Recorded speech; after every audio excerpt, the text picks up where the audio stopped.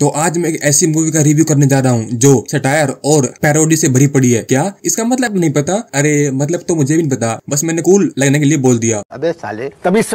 Malayalam industry को बस के के लिए याद रखा जाता है। पर कल मैंने एक ऐसी मूवी देखी जिसका नाम था नाथान केस कोडू। इसका एग्जैक्ट मतलब तो मुझे भी नहीं पता बट आप इसको एक कोर्ट रूम ड्रामा बोल सकते हैं। एक ऐसी कहानी जिसमें राजनीति के सीरियस मुद्दों को हँसी व्यंग के रूप में दिखाया गया है। एक ऐसे इंसान की कहानी जिसकी चोरी की आदत उसको स्टेट के नेता के सामने कोर्ट रूम में खड़े कर देती है। एक ईमानदार स्क्रिप्ट एक नटखट डायरेक्शन और पॉलिटिकल स्टार की कहानी शुरू होती है राजीवो नाम के एक चोर से, जिसको चोरी की एक बड़ी गंदी आदत लगी हुई होती है, जिसपे एक नेता के घर चोरी करने का आरोप लग जाता है, जबकि सीसीटीवी पे चोरी उसने करी भी नहीं होती, पर फिर भी उसके बुरे पास्ट के चलते सारा शक उसी पे जाता है। गरीब राजीवन के पास पैसे भी नहीं होते, जिसके चलते वो अपना केस खुद लड़ता है, केस फ़ाइल होता है कोर्ट में जाते हैं फिर शुरू होता है असली मज़ेदार ड्रामा। कैसे राजीवन अपने ऊपर लगे, चोरी के आरोप से बरी होता है। कैसे राजनीतिक दबाव में आ रखे सिस्टम को को ठीक करेगा या नहीं करेगा। कैसे राजीवन अपनी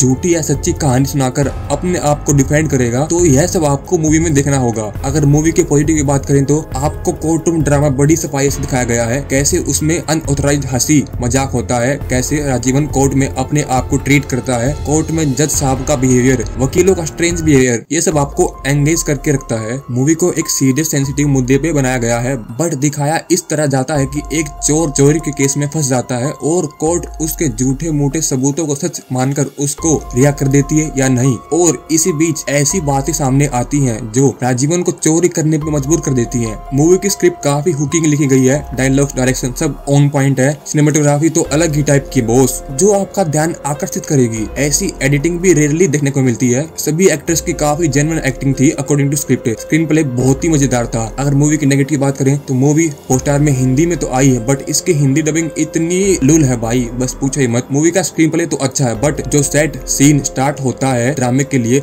उसका कंक्लूजन नहीं निकल पाता। मतलब मतलब मूवी की एंडिंग तो बिल्कुल क्लियर एंड जस्टिफाइड है बट जब भी कोर्ट रूम ड्रामा में कोई कन्वर्सेशन या कोई बात उठती है, उसका कंक्लूजन नहीं निकल पाता। बात चोरी के केस से शुरू होती है तो मर्डर पे आ जाती है। फिर सीएम के ऊपर करप्शन की सुई लटका देते हैं। कभी राजीवन कोर्ट रूम ड्रामा डोमिनेट करता दिखाई देता है। ऐसे कुछ लूप होल्स हैं but according to hard tight script writing वो सब आपको कन्विंसिंग लगते हैं। तो मूवी देखनी चाहिए या नहीं? यस बिल्कुल। अगर ब्रह्मास्त्र देख के आप पक गए हो, अगर कुछ अलग ट्राई करना हो तो आप ये मूवी बिल्कुल देख सकते हैं। तो ऐसे अंडर रिव्यू के लिए सब्सक्राइब करें और वीडियो को लाइक करें। तो मिलते हैं अगली वीडियो में। तब तक के लिए tata bye bye take care subscribe कर भाई, वरना तेरी क्रोम हिस्ट्री सबको दिखा दूँगा।